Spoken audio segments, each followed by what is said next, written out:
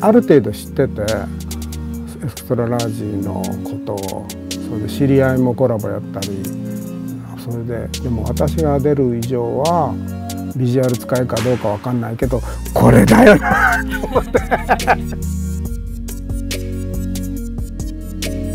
もともとロボットってマッチョだから世の中にあるの。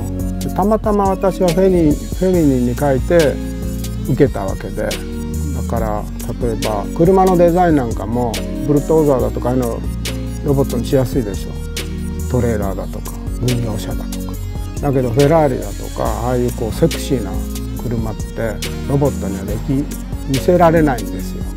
見せにくいんですよ。で簡単なの私にとってマッチョで描くのもともとはこのえもともとの絵がねあの筋骨隆々でだからそのそのコンセプトを強調するより盛るっていう作業にそういうスタンスで描きました。びっくりさせることなんですよクリエイティブだとアートって。ないもの。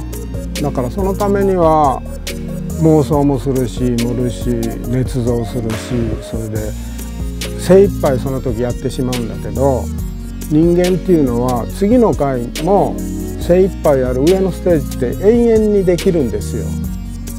だからこんなにやったらもう次の玉がないっつうのじゃないの。エクストララージだからその味を残しながら誰が見てもエクストララージって分かるゴリラを残しながらやんなきゃなんないから。女の方は勝手にやれるし。だから要するにあの絵が売れることもそうなんだけどお金と対価。自分が稼いだお金で身銭を切って買うってことはすごい評価なのよ。だから「ファンですファンです」って言ってて画集の一冊も持ってないやつが「ファンですファンですと」だけなんだけど「買いました」って言うと「そうかハグしてやろうか」って「いや男嫌いです」って言うんだけど。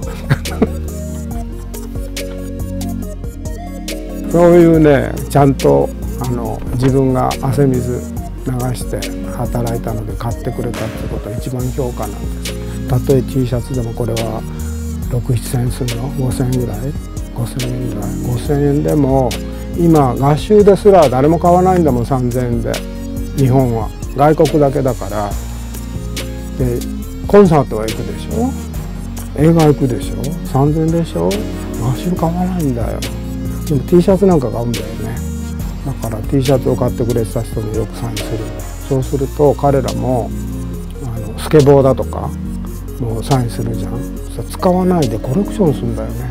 T シャツも飾るんだって。着てくれた方がいいんだけどな。